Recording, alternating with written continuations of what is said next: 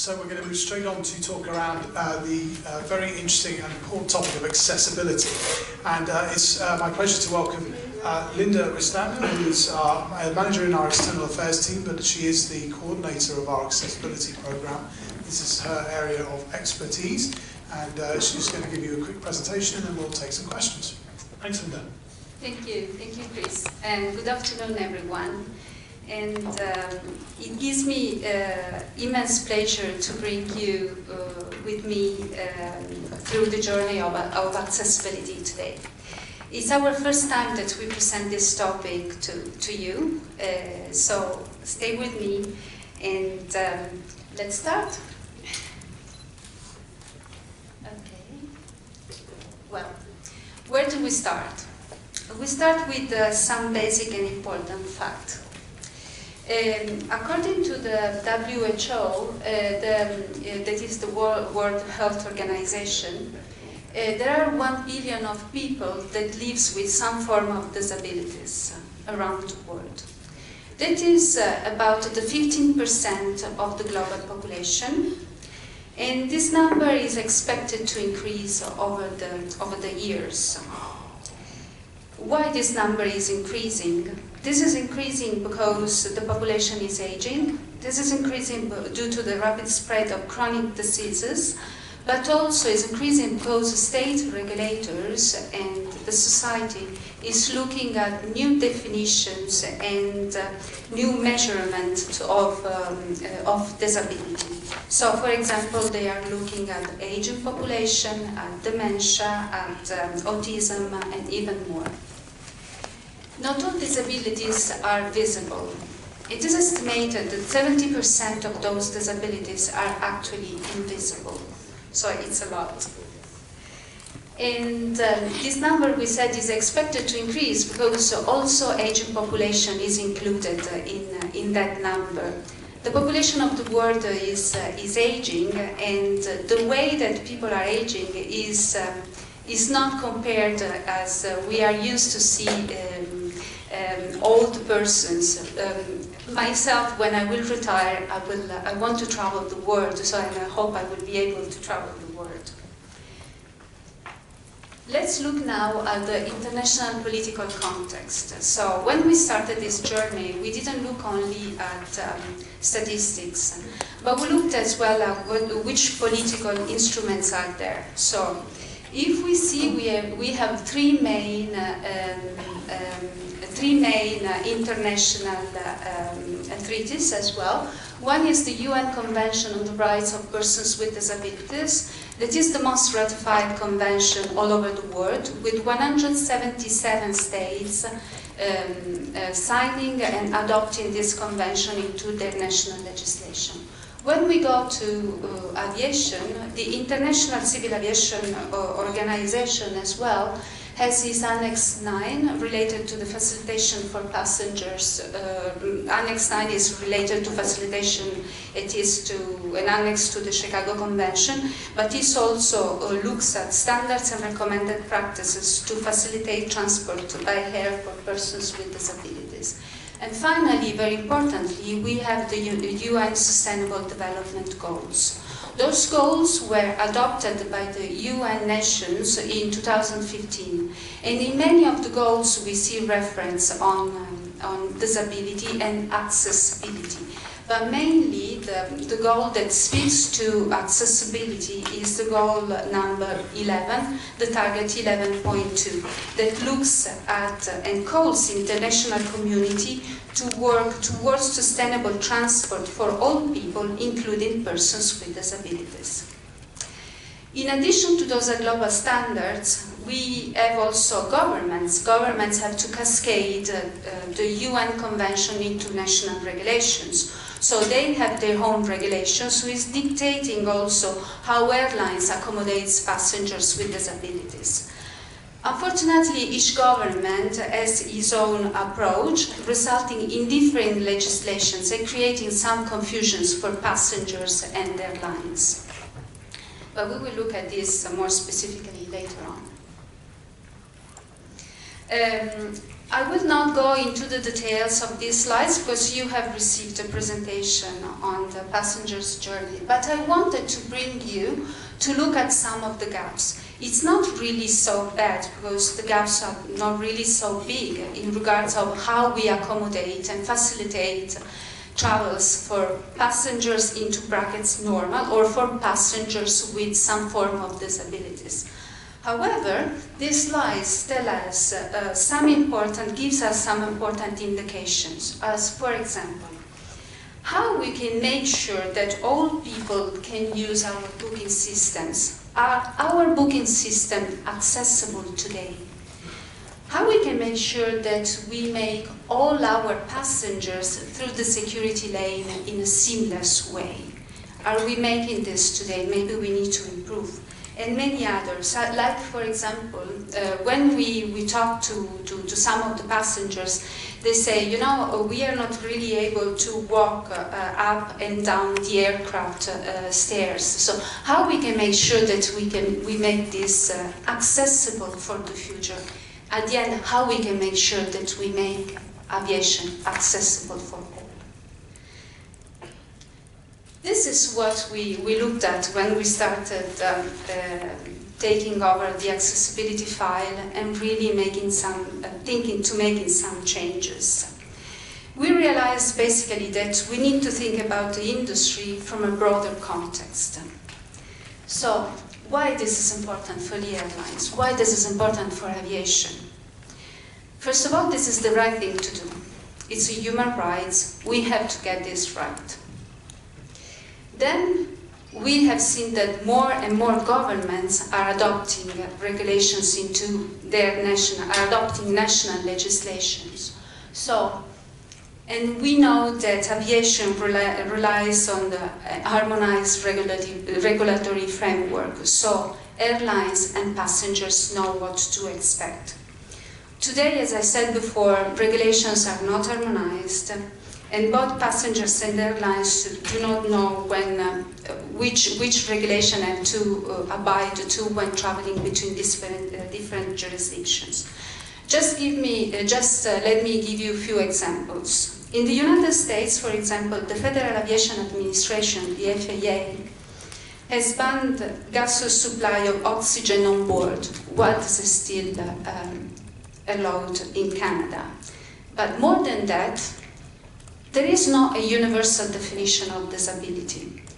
So some regulations still talk about passengers with reduced mobility, others look at disabilities, others look at uh, identify different kinds of disabilities, but this is not homogeneous. So those are some of the challenges. But we know also that providing good services to this growth market makes good business sense.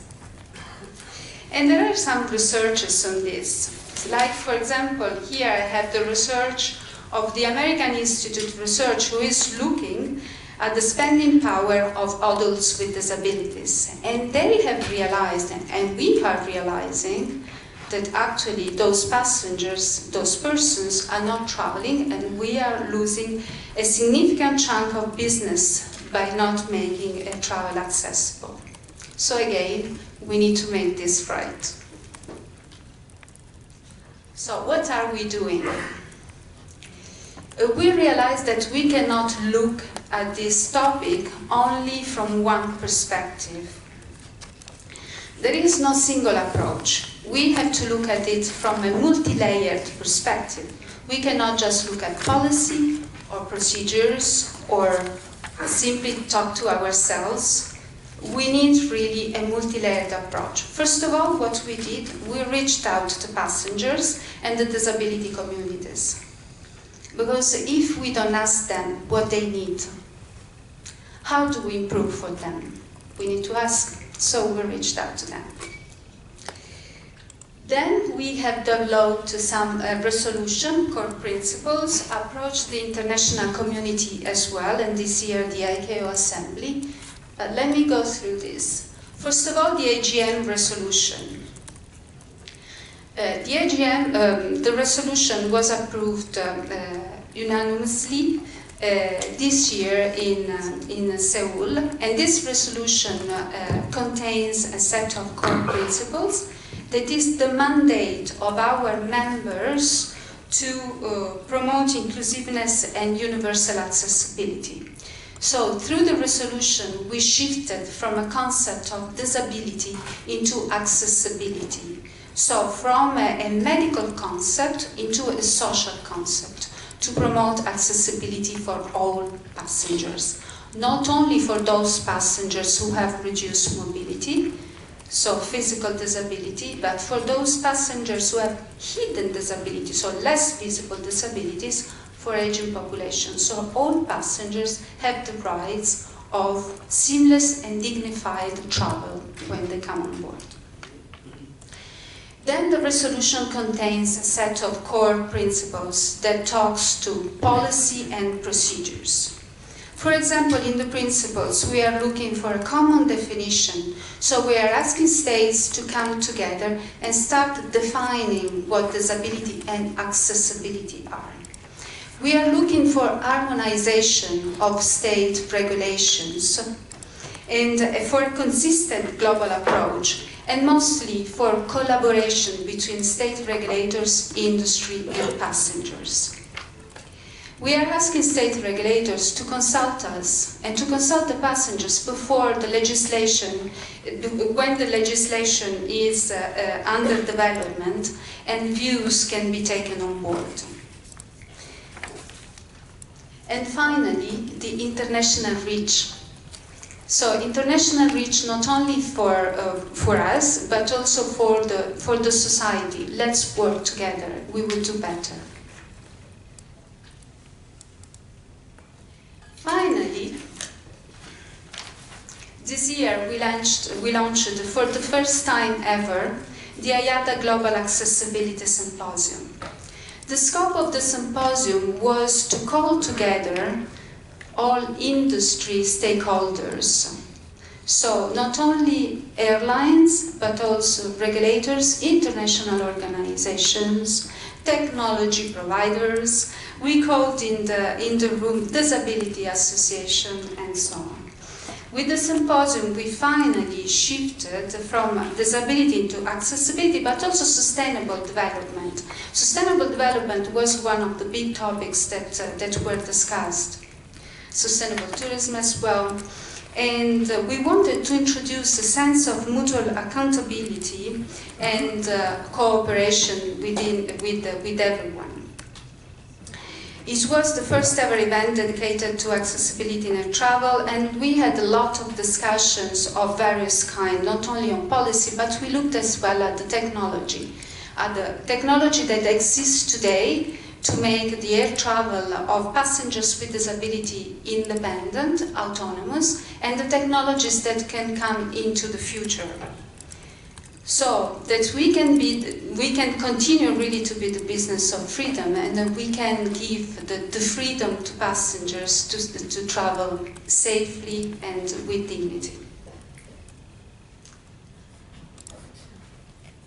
And finally, Um, there is a lot of work in IATA in regards of wheelchairs, wheelchairs in air travel, from the different perspectives.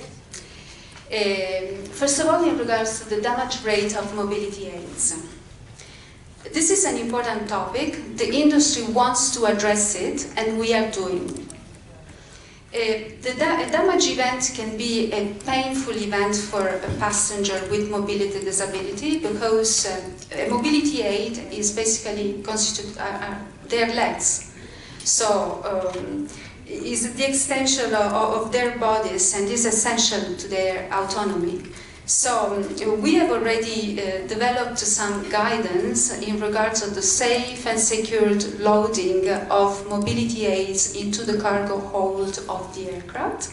But we realize that we need uh, still to improve the handling practices and to review and create new, new standards for the, for the loading of the mobility aids. There are also technical work underway to encourage certification in respect of the design of the mobility aids that are fit for air travel. so that are, that are fit to be loaded on board, to be loaded in the cargo hold of the aircraft. Because mobility aids today are not conceived to, to go uh, in, the, in the hold, to be loaded. And this will be really a key uh, working area in the, in the years to come. In regards of wheelchair assistance, um, one of the topics that, we, uh, that uh, has been uh, very often discussed is the assistance provided to, uh, to passengers. And um, uh, the high number of wheelchairs requests uh, as, um, to, to, as a way to navigate through, through airports. So what we did with, with IATA in 2018 and 2019, we launched a survey with our members and we asked why passengers who are not disabled, who are not really, could really define, uh, could be really defined as mobility disabled, are still in need of using the wheelchair as, as assistance, as a way to navigate through airports. Uh, we received interesting uh, results, like for example, uh, um, there is a bunch of um, aging people, old people, that use the wheelchair assistance to navigate big airports. Some of those persons get lost. Uh, I can tell you, I got lost, I don't use a wheelchair, but I got lost uh, uh, at an airport because airports are becoming big. So there are some people that really need, uh, need some support, and today the wheelchair is the one size fits all. There are some people who start travels for who start travel for the first time. So they with the migration, uh, people have migrated from one place to the other, so their parents go and visit their children. So they don't know the language. They don't. The best way to, to receive assistance is the wheelchair. So there is a lot of these uh, reasons. So and what we are doing here, we are uh, using those results to. Um, target our, our advocacy at specific markets where we recognize that the number of wheelchair requests is, uh, is higher, and also make recommendations about how to offer a better service, because is not always the better service, to our customers, but also cater the needs of those passengers who are not disabled but still need assistance of uh, wayfinding assistance at the airport. What we did already with this, um, uh, to, to gather more uh, data, we have been held uh, workshops in Heathrow, uh, Delhi and uh, JFK more recently, Uh, with the representatives from regulators, airlines, uh, disability organizations, airports and uh, wheelchair providers to, to assess which are the current realities, which are the challenges, but also which opportunities are ahead of us. What about the future? This is what we did. Where are we going now? Okay. First of all, we will continue driving regulatory consistency. You remember before I talked about the ICAO assembly. Uh, at the ICAO General Assembly this year, IATA presented a working paper where we, where we requested not only regulatory consistency, but where we requested ICAO to initiate a robust work on accessibility.